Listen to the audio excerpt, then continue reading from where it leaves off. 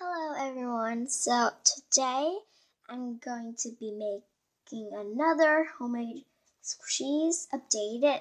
So this is number two. Um, so I made a lot of squishies after. Here's the first one. This is the cookie pop. I made a tag for this and I used this kind of string because I think it will look really cool the back. It's really squishy. This is the Hello Kitty bow macaron. This is the front. Is the back.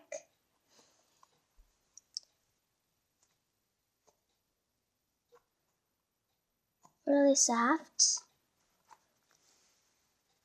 There's this dorayaki. Um, I have the tutorial for this one, so go check it out.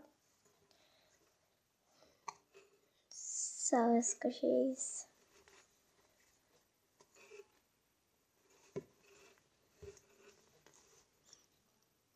Then there's this Hello Kitty donut. There's the tag, the front, the back.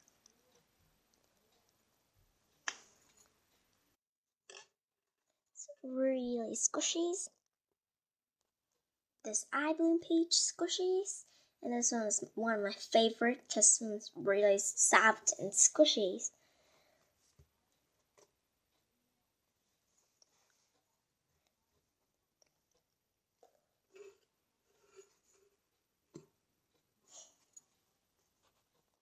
Then there's this um, snack theme squishy bun.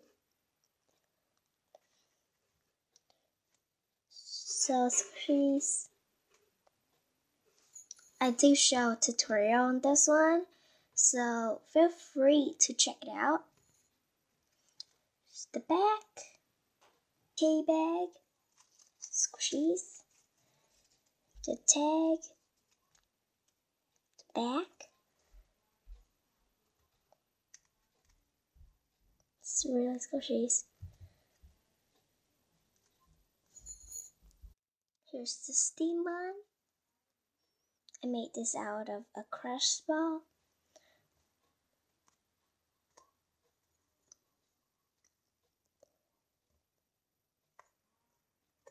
It's really squishy and soft.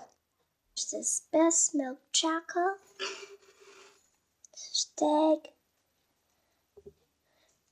This idea inspired by Ketchup Green. So I'll go check her out. She's awesome. It's really squishies.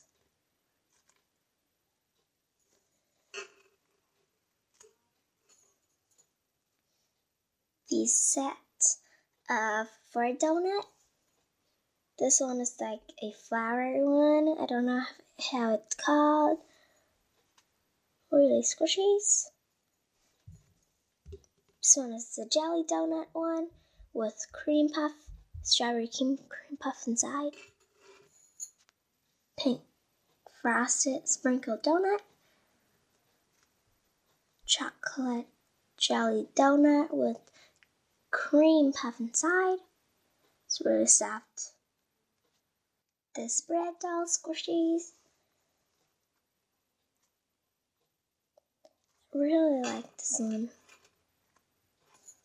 I don't know why I like kind of messed up on the feet because it's supposed to be triangle, but I do like circular.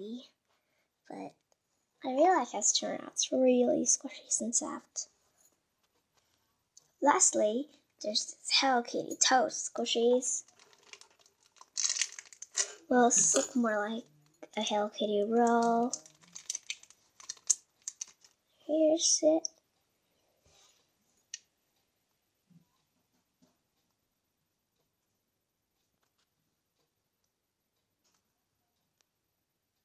Back of the package.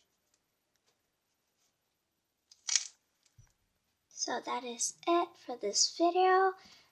I hope you guys liked this video.